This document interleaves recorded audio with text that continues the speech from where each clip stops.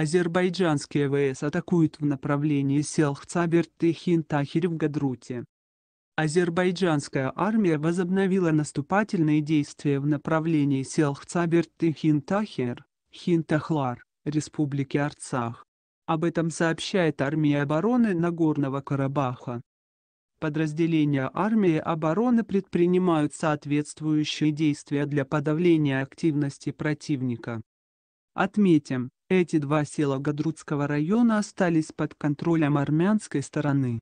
Заявление по Нагорному Карабаху, которое подписали руководители Армении, Азербайджана и России 9 ноября, предполагает прекращение военных действий. Утром в субботу сообщалось о том, что противник предпринял попытку нападения на одну из позиций армии обороны на южном направлении. Ранения разной тяжести получили трое военных резервистов.